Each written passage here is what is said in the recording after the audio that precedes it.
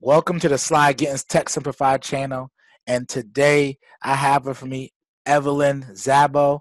She is a great guest. She's going to sit here and share her story and how she got started in IT and how she's continued to thrive in IT. So I definitely want you to lock into the end of this video because she will be dropping some great career gems and insights. So, Evelyn, would you mind letting my audience know a little bit more about yourself and how you got started and your background? Sure, I'm happy to. First, thanks for having me.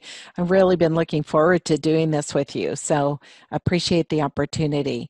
Um, my background is very, uh, I'll say, traditional in the sense that when I went to college, I wanted to be a business major. So I took the opportunity in those days to go through the computer science as a minor. And I never really thought about the fact that I would be using that as my lifetime career um, model. So when I first came into the workforce, I started in banking so when I left the bank, I found that I wanted to work for a company where IT was what they did, was their primary focus.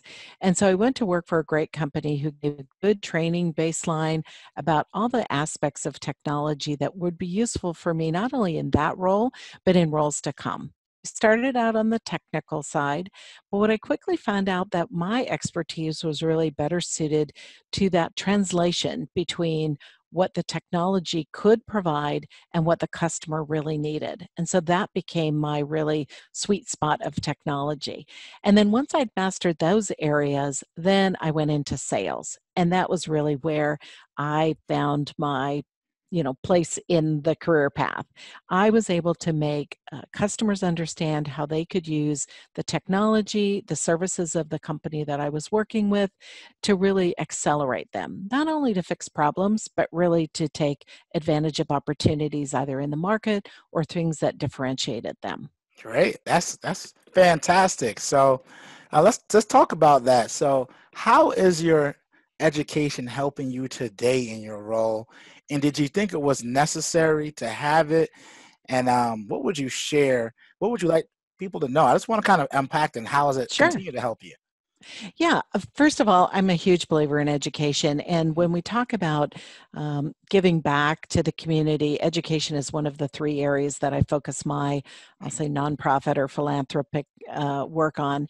And I'm a huge believer that women in technology is one of the greatest opportunity areas. And I think people sometimes get a little bit confused or they get uh, dissuaded from using a technology career path because they see it only as programming, which is what a lot of people know. But the reality is there are a plethora of jobs within the technology field that are technical or semi technical, and some that are frankly not very technical at all, where you just need to know a little bit about how things work, but not such uh, deep technical skills. So I always encourage women, I always say it's one of the highest paying job career paths. It's uh, got great opportunity, and frankly, there are a lot of women uh, becoming more senior in that field than in any other field. Um, uh, similar to that, right? You don't often see uh, engineering or something like construction or something like that having so many opportunities for women, but they should. But uh, IT definitely has the opportunities for women. So, for the the question itself, the idea of going to school was a key for me because it gave me a baseline understanding of not only what one does in computer science at the time, that's what it was called, but also how customers use it, right? So it wasn't really just all about being a developer. And it was how people would apply that information. So that's why I liked the combination of being both a business major as well as an IT uh, minor because as I'd go through a marketing class, I'd see how technology, particularly around data and analytics, could help. If yeah. you went through a finance class, obviously some of the advantages of using, you know, high performance computing to calculate, you know, financial options and things like that. So every business course that I took was really tightly woven together with information technology.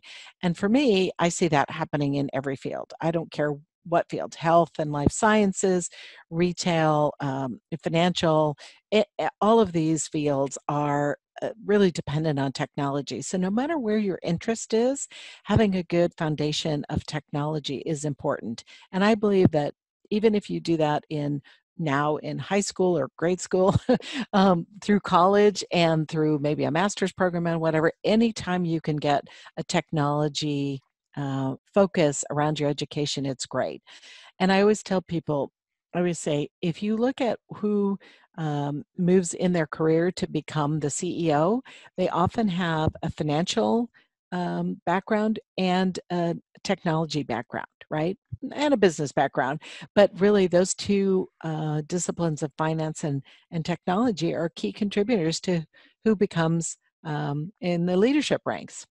And I, I think you touched on a, a, perfect point because I had a similar experience in my educational path. Mm-hmm. So I started off as an English major, then I switched over into business. And then when I took business, I also took my marketing classes where I found that mm-hmm. I enjoyed them. So I ended up taking a marketing concentration. Then I took my first tech class and I found out I, have always been good with computers, just never put two and two to go to school right. for it at the time. Right. So I ended up doing both of them. Tech classes showed me how to be analytical, how to solve problems using technology. Marketing told me how to understand who's your customer. How do you right. get the product to them? How can you use technology to help you make better decisions on how you market? And then also, the and at the University of Buffalo, I took uh, is a business administration is your major, and those mm-hmm. are your two concentrations. So you had your finance classes, your operation classes, your project management classes to show me how a business works, so you can kind of figure out how to leverage it. And, to be honest with you, I use that today. This is marketing. Right. I'm marketing my brand, but I'm using technology to do it. Right. Even mm-hmm. my job as an engineer during the day, is a little bit of marketing, sales, and business, but then it's also technical because I actually got to sell the solutions or architect the solution and demonstrate the solutions. Um, so again, it, helps me in all my life and even different facets. Even when I'm just with my daughter and the way we learn and interact now, mm-hmm. I can use those skill sets. So I definitely agree with you that education, as long as you're curious, it doesn't right. hurt, man. Because uh, one thing for me is I'm gonna keep learning so I can't learn anymore physically, right? Because I feel like that's how we continue to grow. And any way you could get some more IT, I mean, it won't hurt you. And if you're not good at, I'm not good at coding. I'm gonna be honest, I'm not a software developer, but I right. understand it. But I don't do that on day to day basis, right? Mm-hmm. Um, do I think I should know a little bit more about it? I think it wouldn't hurt. Um, and I think it would would help me, but I don't need to in my role. And there's a lot of roles that don't require that as well. So right. glad that you and, pointed that out. Yeah, and I would uh, echo you. I was a double major. I was an English major as well. And I mm-hmm. think that when I tell people that I was an English major and a business major, I said I really wanted to combine my love of reading and writing. And I said that has also helped me as an educational path. Uh, I'll tell a quick funny story. I went through a technical training program with the first company that I that I hired into for a technology career and they sent a group of us to a, a, remote location and they looked around and they said look to your left look to your right. One of those people are not going to be here at the end of the 10 week training because it was so intense. And there were i think um, let's say 95% men in the course who were mostly all computer science majors and then myself and another woman. She was an uh, um, anthropology major and I was a business English major. And so all the gentlemen looked at us, assuming that we would be the ones that would not be here at the end of the 10 weeks. She graduated number one in the course, I graduated number two because we followed the directions. We didn't assume that we knew everything. We said, okay, tell us the best way for us to do this program. We'll work hard at it. And obviously, we were smart enough to be able to get the technical concepts and I think people look at the liberal arts and say they won't make good technical folks, but the reality is they make great technical folks because they have the discipline of the English majors have the ability to to listen to concepts and turn them into reality. Um, you know, all all of the arts really are great technical folks if they choose, right? Yeah. So I think it's it's a misnomer to think you have to go into a technical discipline to be successful in a technical career. Yeah, and My I agree. Opinion. And then if anyone who listening to this, and if you're on the fence, if you think you are don't have the skill set currently, I always like to use currently because right. you can always change that. we all had different backgrounds, but I think that what makes us unique. And that's the great thing with technology. If you're willing to learn the technology, um, it's up to you to brand yourself in a way that makes you different. So when you come up to an interview, especially right now during COVID, where a lot of people are unemployed. Right. So now that it's more of a, you know, employer's job market because they have more candidates to choose. Mm-hmm. How do you show up different? And um, I don't say that to intimidate you. It's just just talk about your background. And if you don't have a background that you don't think is that compelling, how can you do it at home? Are you taking any LinkedIn learning classes? Are you taking any um, online training, whether that be from edX or even Harvard Stanford has free training mm-hmm. to get online? YouTube University, I like to call. Um, you can write all these things down. You can create small projects for yourself and use that as something to create a portfolio. You can even create a portfolio page, mm-hmm. uh, making a website. You don't even know how to code. You can go to Wix, take a template, write some information right. in there, and there you go. You have an online brand. You can make a YouTube channel like I have here, where mm-hmm. you can mm-hmm. show off some skills set that you have, or show off your expertise that you're learning. And if you could bring a following, companies will pay for that following right? right? Because if you can bring that and then exploit it to the company. So don't sell yourself short. I think that's one thing we're trying to say here. And each educational experience is unique. Just figure out how can that be your differentiator. And if you don't currently have the skills that you need for the role that you're envisioning, just ask some right. questions, find the right people, you know, reach and out. start start that's the thing right? And i think people are they think diversity but they don't always think diversity of approach or thought. Yeah. and the idea is that if you are a critical thinker if you have the ability to look at an issue and bring something of yourself to solve or or take advantage of an opportunity that's great right? Um start with your social media presence as you mentioned right? Mm-hmm.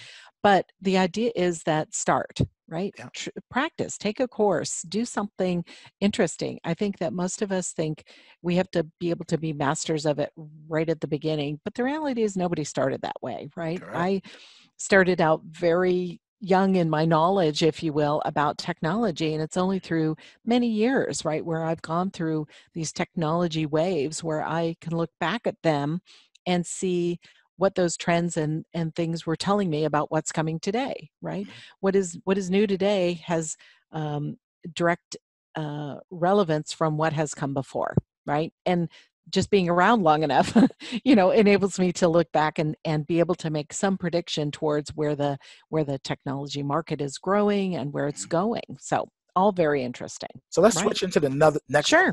question is what advice would you give yourself um, earlier in your career. And the reason why I'm asking this question, mm-hmm. the primary my primary audience is between the ages of 18 to 25.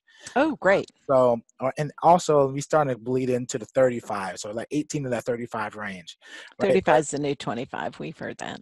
yeah.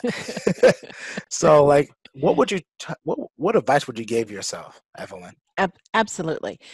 Um, I think there's three things. One is we've talked a little bit about this is that don't be um, thrown off by the fact that you're not technical already, right? If you explore the area of technology, even if it's taking, as you say, some courses, some looking at YouTube videos, as long as you can begin to learn to speak the language a little bit and take some uh, understanding of what the issues are in the technology realm today.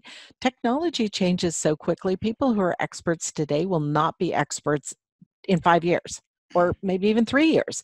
And so it's a little bit like um, like surfing. You just need to catch your wave, right? Doesn't mean you need to master everything that has come before. So jump in, right? Basically, jump in the pool and start learning about what is available today. And then as you gain proficiency. Um, the second thing I would say is that try your hand at both uh, what I call the technical. We we traditionally refer to those as the delivery side of the house. So in other words, deliver projects, manage a project, and then try and sell the project. Because one of the things that makes you a great delivery person is having sold something and the reverse. So when you've been, and I'm sure we've all had this experience that somebody has clearly sold a project, they've never done anything relevant towards that project and they've sold something that is either not doable or not feasible or not desirable at the end of the day and i think as our younger um, uh, people come up through technology, there's a tendency for people to get siloed into very narrow roles. And the goal is to try and broaden that right? Mm-hmm. Is to say even if it's just to volunteer to say oh yes i would be happy to step outside my current role and maybe project manage a volunteer activity over in another area or i'll do a special project in marketing or i'll do a special project in whatever hr or finance so that you learn a little bit more about all the different areas of the company and how they use technology and i think that is one thing that i cannot emphasize enough which is to volunteer. Every great project I've ever gotten into started out with somebody saying, We need somebody to go to XYZ location to do XYZ project. And everybody sat there and went, mm, Do I want to go there? Do I want to work on that project? Do I know anything about that? And I thought, Well, shoot, it's not like any of us are going to be experts. I'm going to raise my hand. Mm. And off it's taken me both into more interesting areas, more executive visibility, which I know is important for people younger in their careers, and the ability to learn something new, which, as you say, I might be catching the next wave. We don't know, right? So the goal is that I wanted to always stay interested in what I was doing. And so I always was very um, thoughtful about moving myself forward. And if I could give um, general guidance to people is don't uh, or be less afraid, right? I want to be more positive. Be more positive, be less afraid, and say, I want to speak up. And particularly, speak to people who are maybe in a room where everybody seems to be more senior or maybe has more of a, an opinion, which is speak up, even if it is not 100% the right thing to say. You need to get your voice out there so that you start practicing that. I used to be very nervous doing presentations. And people said, Well, how did you overcome that? I said, mm-hmm. I did lots and lots of presentations. And it's like anything. sure, the first ones were not as good and then they got better. And the idea is that anything you practice, now I don't even think very hard about, you know, people say, Do you want to do this? Sure, I'm happy to do this. Right. So I had no um, uh, trepidation to come forward and do this uh, podcast with you because I have presented, I'm passionate about this topic, and I feel like m- my ability to share my thoughts with you and your audience is good for both me, you, and them.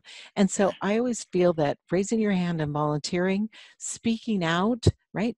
Just a few moments, right? Get get your voice heard at the table.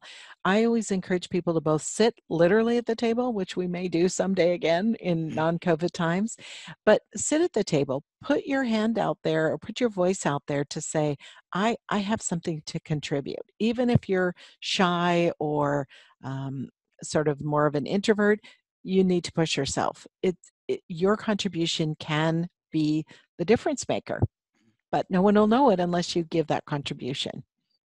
Great advice. Definitely agree with that. Um, one thing I would like to ask you is someone asked me the other day is, and it comes off of what you just said. When you put your hand up and ask for that new project, mm-hmm. it's taking off. It, it, it feels like it's taking me away from the specialization that I want to focus on. Mm-hmm. So what mm-hmm. I find is sometimes when I'm talking to younger folks, even, even people my age, they think it's linear. Like if I'm right. a you know, junior network engineer. I become a network engineer, then become a senior network engineer. Then I might go somewhere else. Did you have you seen that? What's your thoughts on that, by any chance? Well, I think it depends on where you are in your cycle, right? In your career cycle and maybe even in your age cycle. When mm-hmm. I first came into the workforce, the expectation is that you would work 20 or 30 years at one company and that was it, mm-hmm. except for in IT IT was unique even in those early days because people switched around. You move from maybe every three years or so from one company or one role to another role within your company or to a different company. And so I was used to that. And I think at that time it was really the rise of consulting as well, which in and of itself was perfect for someone like myself because every whatever period of time you had the opportunity to move to a new client a new project a new industry a new technology the inherently change was built into the consulting cycle and there are a number of companies that are like that. It doesn't always have to be consulting companies. For me, I look at this and you know I read the stories about where they say things are going that people will have multiple careers in their lifetime, maybe three to five hugely different careers.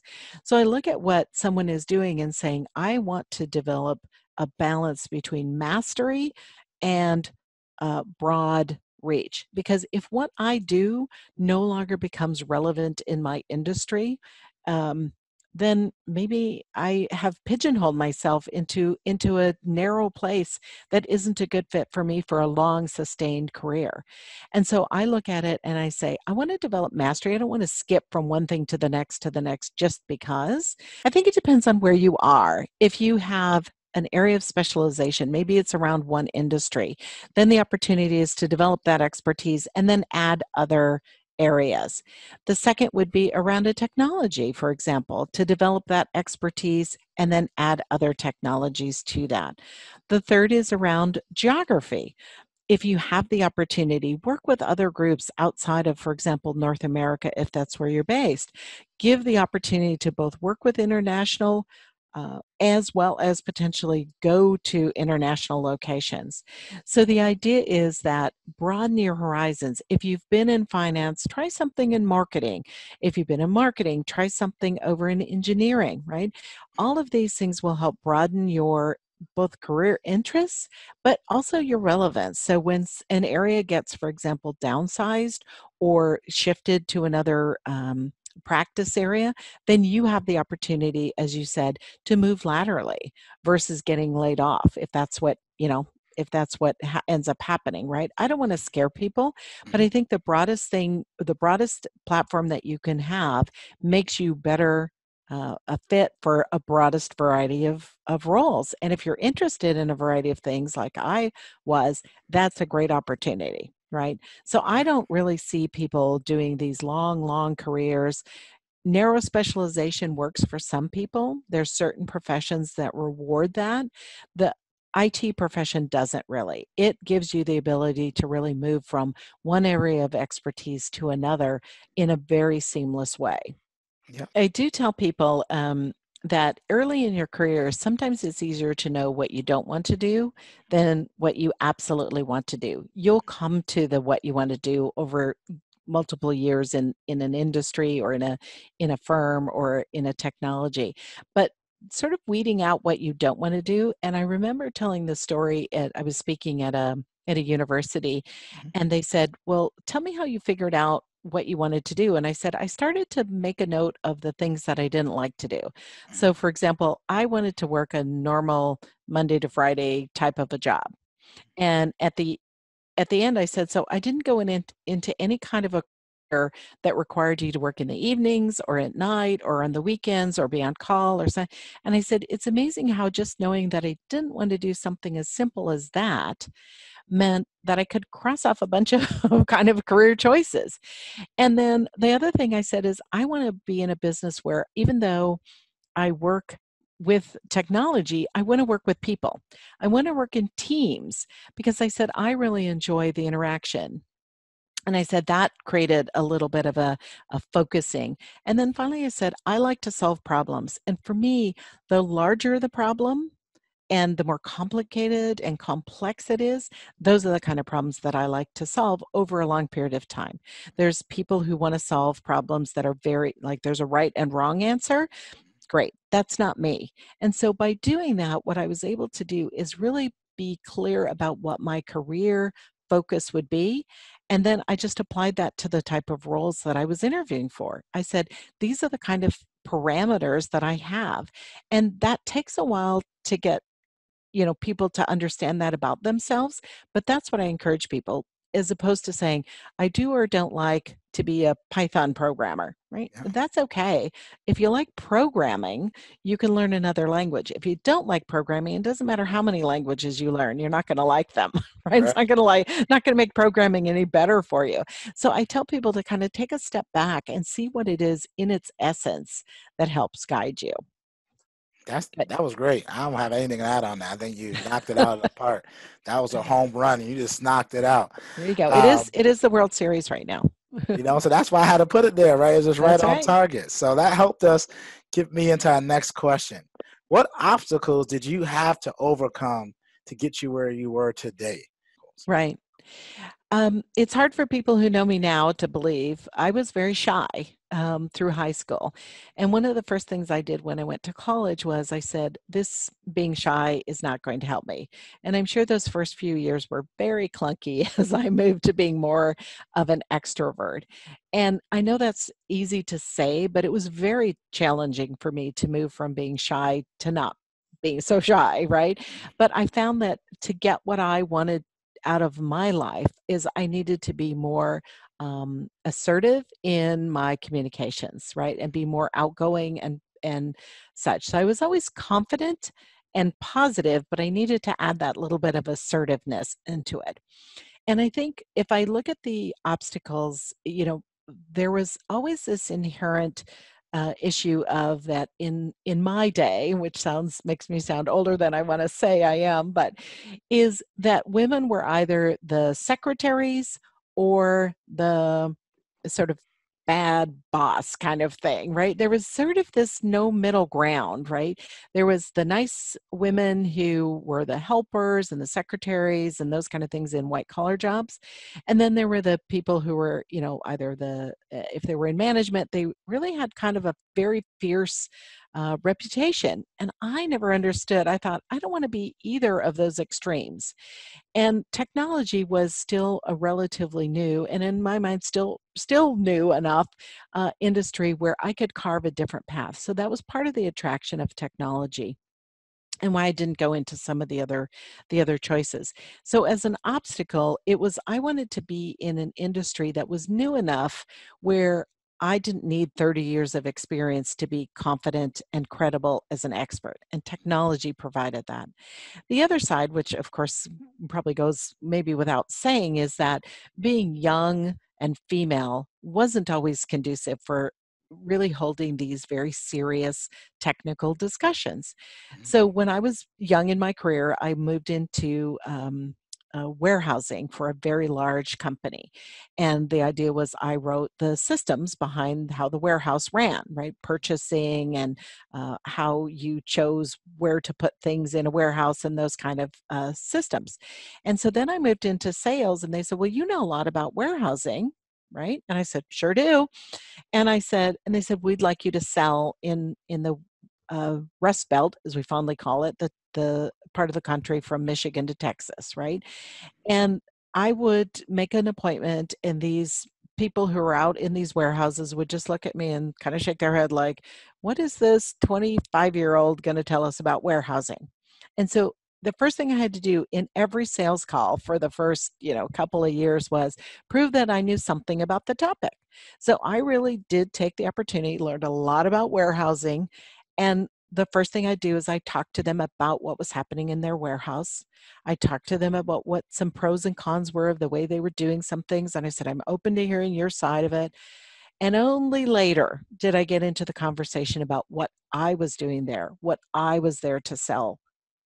Because the reality was, unless I established my credibility, they were not going to listen to me. They just, mm-hmm. you know, they were excited to see who was who was going to show up and that was it and i knew that i would never get the sales i would get the sales call but i'd never get the business. So i needed to find that meet them in a place where they could convince themselves and their team that they were doing business with a company and a person that was credible. The story is people buy from people they like but they have to find them credible right? And that was the first thing you know technology was more open i'm sure there were you know many of points in time where i was overlooked because i was young and female and not an expert in every topic but i had the self-confidence to say I may not be an expert, but I'm not sure there are that many experts in every topic. So I'm going to find the places where I can have a demonstrated expertise and bring that value to my company and for myself and I, I, think you touched on a lot of great gems there. I just want to unpack a few of them. Is um, when, when I first started, um, I was in pre-sales and, and I was in mm-hmm. tech support. And as you know, tech support, the phone rings, right? right. You, you just got to pick it up, and it's just like a call center, up and down, up and down. So I made mm-hmm. the switch to sales. And when mm-hmm. I went to mm-hmm. sales, the phone didn't ring. I'm like, well, how do I make it ring? you know, like, you know, I think it's a simple thing. I'm like, well, what do I do? I need to call them. So let me call call them. I'm like, right. Phone hung up on me. Right. And then I realized I had a sales team that I didn't manage, but I mm-hmm. indirectly mm-hmm. needed them to help me hit my number. Right. And I had, had seven, about 65 reps. That was, mm-hmm. but I was only 24 at the time. And mm-hmm. all my reps were either 30 to 60. Right. So when they saw me coming, they're like, "How can you help me with my accounts?" A, they didn't find me credible. They didn't think I knew what I was talking mm-hmm. about. And B, they just saw me as a tech person. They're like, "Well, how right. can you do sales with your tech?" I'm like, but after a while, after I got to know these people, I created mm-hmm. profiles about them. I called them. I had them lead me into an account and watch me for the first time around. Mm-hmm. And I realized, depending on the person personality, how much leeway they would give me. Some people love mm-hmm. control mm-hmm. and they need to see it. Some mm-hmm. people didn't. It was like, hey, Sly, you saw you do it once. We trust you. You can have it in there. But you're right. I took a long, it took me a little bit to understand that I didn't talk about me. I wanted to learn mm-hmm. about them, what's their comfort level, what is driving them. Because I found the people who were restrictive on their accounts just had a lot of stuff writing on this account right. in their personal life. And that's what's causing them to be this way. Mm-hmm. And then once I figured out what was driving that, I can help that. Like I created like contests to compete, to make my three departments compete against each mm-hmm. other, figure out who's the best. Actually increase the most revenue from doing right. It right? Um, it, it was funny. So, and then, um, so I, I say that just to echo on that is that um, you got to be okay in a situation that you might not be the most. I knew I wasn't the best salesperson because it was right. my first sales job, but mm-hmm. they didn't want me to be. But I was an expert on VMware. Mm-hmm. That one thing I could help them with, they didn't need to go anywhere else but me. I could be an expert on that, and since I was technical, I would deploy it. I could do the pre-sales and the sales. So I didn't right. need an engineer. I just did it myself. Right right? So and the customer loves that usually, right? Because yeah. it's one stop shopping. So that was perfect, right? So just to echo on that, and um, some some similar for me. When you mostly when I started, I didn't see as many African Americans in these mm-hmm. technical roles. Well, in my classes, I was the only African American mm-hmm. in my roles, so it was very disheartening.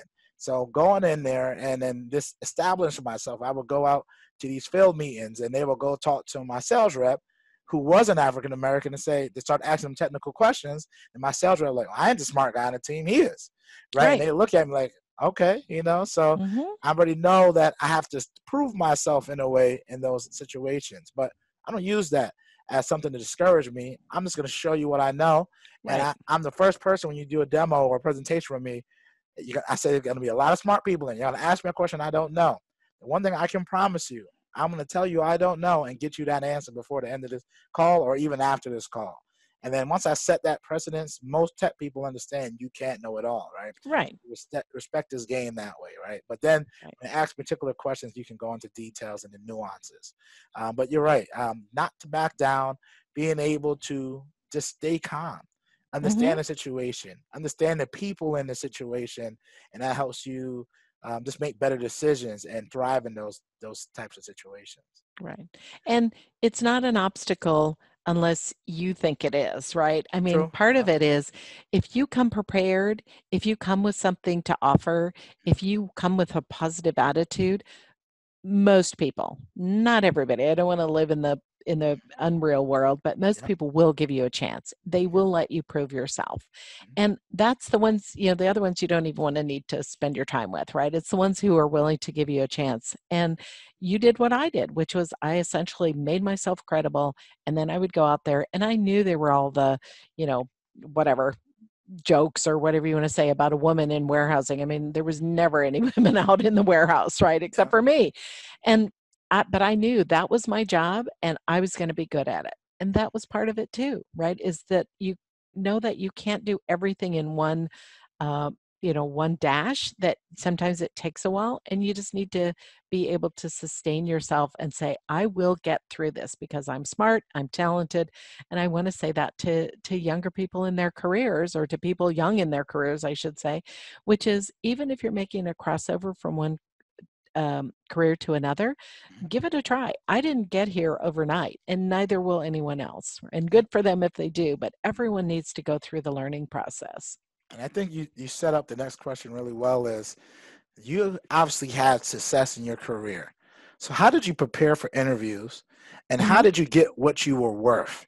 Because time and time again, we read these reports and they show the comparison for men and women, um, and men usually out earn. And I like to to challenge that because I know a lot of Mhm. women who make four times as much as I do, and they deserve it because they work their tail off. And the same thing, I know a lot of men that don't make that much either, right? So, Mhm. and and everything in between. I feel like sometimes in society we focus on the fringe outlook, right? Um, but how did you get what you Mhm. were worth, and what would you recommend for Mm-hmm. someone right now, even if they, it's their first job? How can they ask for more? How should they ask for more? Sure. And how do they sell their value? I think that's the Mhm. big thing. Well, I think the easiest thing to think about is preparing for an interview to start with. One is to make sure that people remember that it's not just about the company wanting you, but you wanting the company and thinking about how will you fit? How will you contribute to what they're trying to do?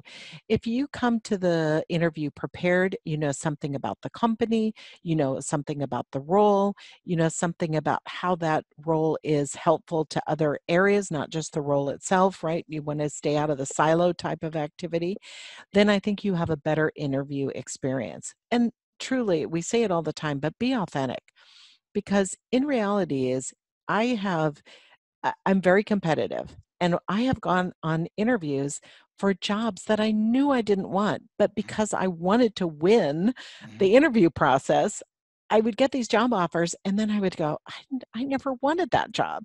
Not at all. And so remember what's at stake here, which is not just winning the interview process, but really winning the role, winning the job.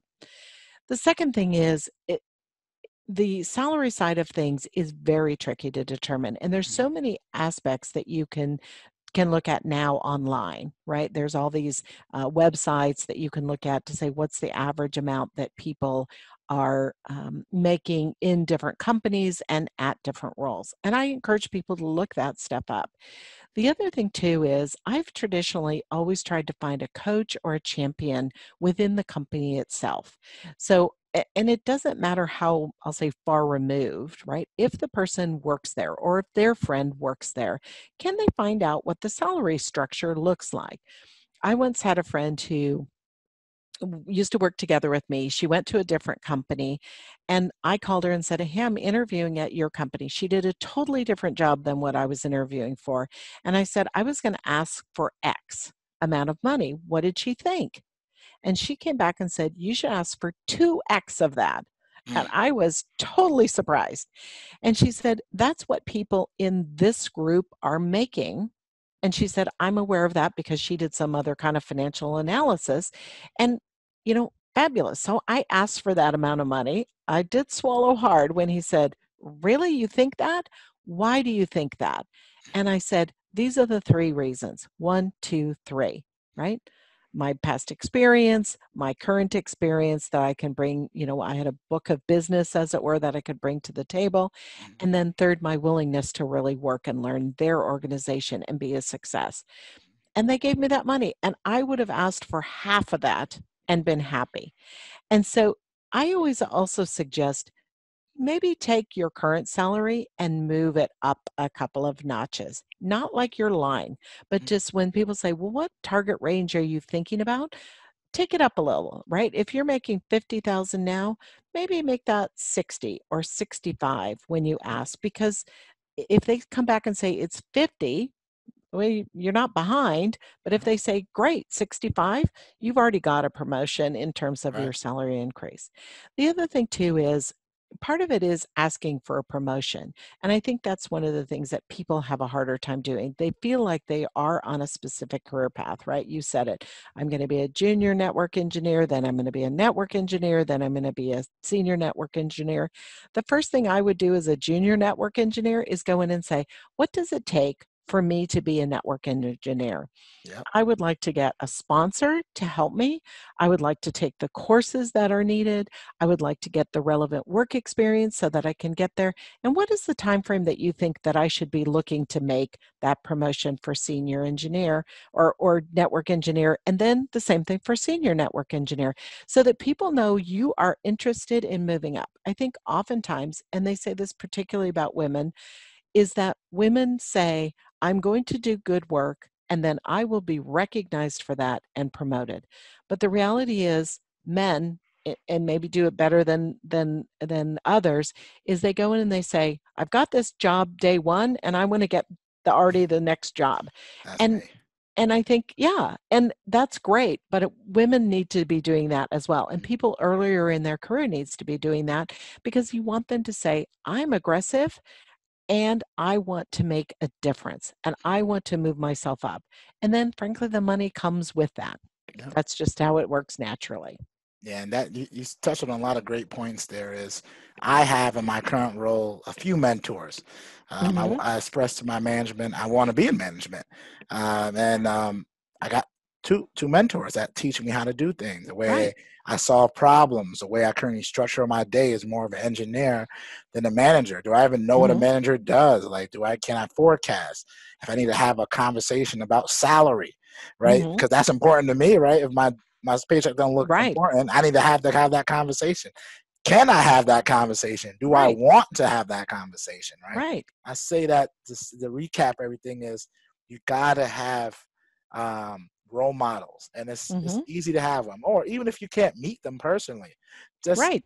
use LinkedIn. You said Well, a couple of comments I wanted to add. One is Yep. that I think we always look forward and see, you know, it used to be we'd look for mentors and now they're calling it more of a sponsor, somebody who's really vested in making you successful as opposed to somebody it's great to get good advice from a lot of people which is what you're doing right? You're bringing that forum but it's nothing to substitute for somebody who says hey sly i'm going to take you under my wing and i'm going to help you and that is a great thing. But you need to ask for that because it is a two-way street for most people. They need to get something out of it and you need to get something out of it. So you need to mm-hmm. think about what you might bring to that relationship. The other thing i would say too though is it ne- it's never too early to start. People think oh well i'm too junior to be able to be a mentor or a sponsor for someone. There is always somebody who is more junior than you typically who would value your advice and guidance and pay it forward take them under your wing and help them move start moving up the channel as well.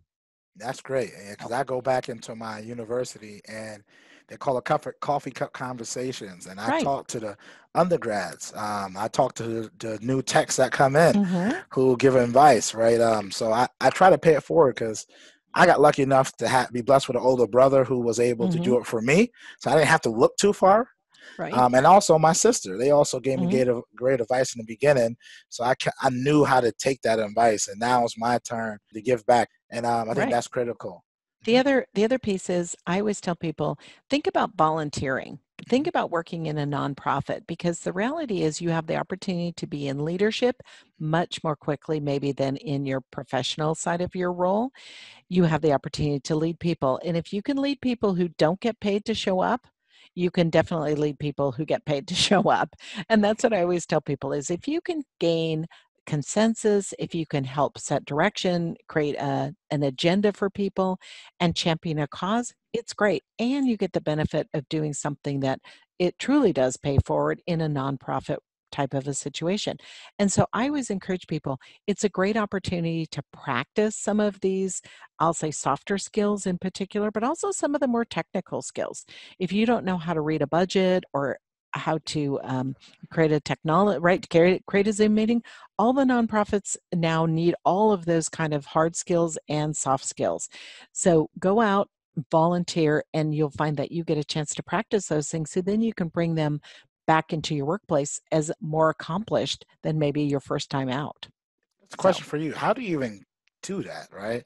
Um, how do you even engage when you just send an email randomly to somebody and mhm. say, "Hey, I want to, you know, do your technology at your non-for-profit"?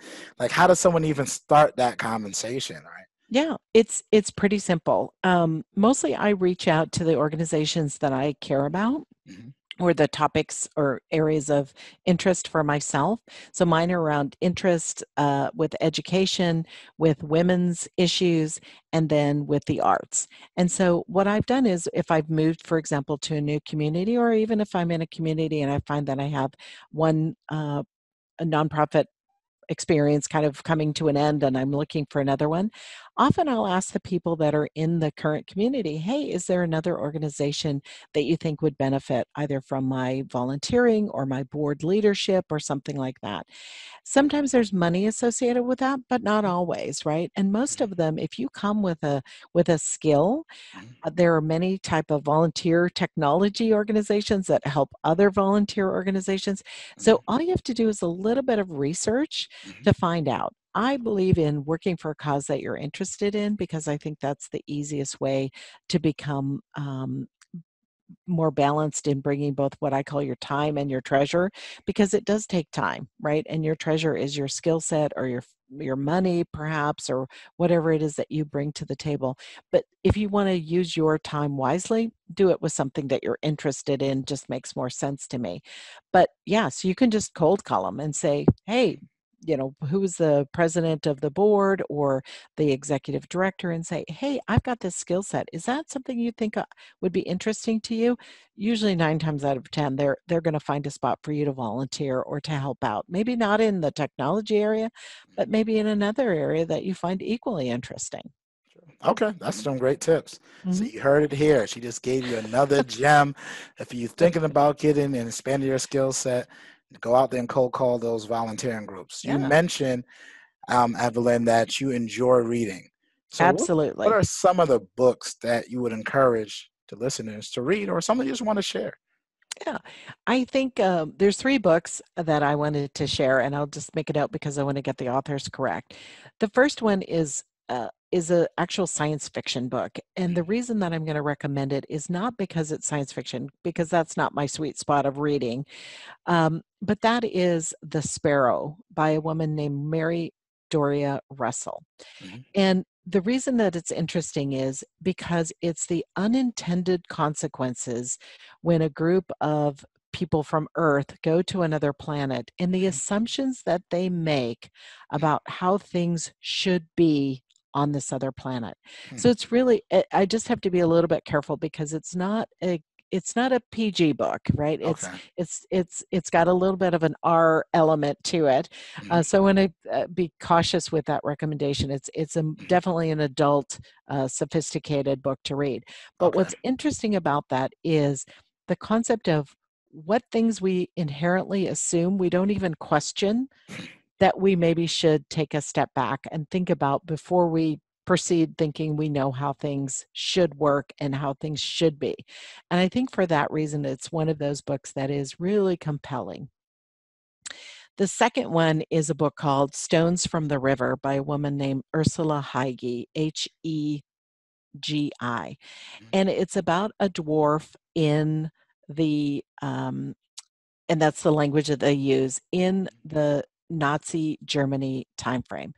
And what the story revolves around, it's it's it's a long book and it's a little bit complicated to explain the plot. But the point of the book and the reason I thought to bring it here was mhm, it talks about a woman who is clearly overlooked in this period of time and yet brings these amazing differentiated skills to the table that prove to be very valuable. And the reason that I chose it for this conversation is because I think sometimes people say, I don't have anything special. I don't have anything of value that I can bring to the table. I'm just whatever, like everyone else. And the reality is, we really always all have something we bring to the table. It doesn't have to be mm-hmm. unique in all the world, it just has to be something that you bring to the table with passion, with positive, with energy. And I think that's where people need to read a story about somebody who really was uh, not considered to be of value in that environment, and in fact was able to be a contributor. And because she was different, she saw things in a different way. And then the last one is probably the most complicated book I have ever read, and that is Ulysses by James Joyce. mhm, And I decided I was going to read it. It is a 24 hour period of li- the life of a person um, in in Ireland, and the author, who is a genius in the in the English world, uh, English speaking world, decides to write each of these chapters in a different style. And one of the chapters is probably I'm just maybe 20 or 28 pages long, and it has one period in it. So it's one or two two really really long sentences and it's just unbelievable very difficult to read but what i did is i decided i was going to read that I gathered a group of people and I said, "Hey, are you up for a challenge? It's kind of the Mount Everest of of reading."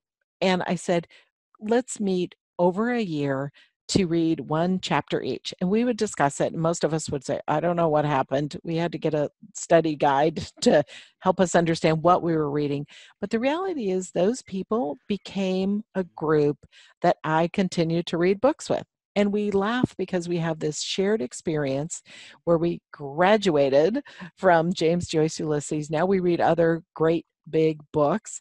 And so it created a new group for me of people that I wouldn't necessarily have met or had uh, time or been engaged with over a longer period of time. And we've been going for, I think, seven years now. So it's been great. We read books together and it, has been a fun and interesting and challenging uh, book to read. So yeah. I might not recommend that as a solo reading exercise, but as a reading exercise, I think it's great as a way to maybe engage in your community and maybe make new friends. And I'll make sure to put all those three book recommendations down in the um, YouTube comments. Great. So make sure y'all go click on there, get these books, learn it. So Evelyn, we had a great conversation, and I want to make sure the con- the conversation continues. How can my audience contact you? Absolutely, I'd love to hear from them. My email is the best way to contact me, and it's Evelyn Zabo. Let me spell that for you. E V is in Victor, E L Y N Last name Zabo, Z is in zebra. A B is in boy, O. So Evelyn Zabo at hotmail.com. Of course, you can find me on Twitter as well with the same handle. Mm-hmm. And so I look forward to both hearing from them and ideally from you as well. It's been a delight talking with you. Well, likewise, and I make sure to put all that information on the bottom, and I include your LinkedIn profile. Great. So make sure that you send her a message and tell her why you're trying to reach out to her. Tell her that you found her from here, so then you can start actually cultivating a relationship. But Evelyn and Sly Gittens are out, and we'll talk to you later. Thank you.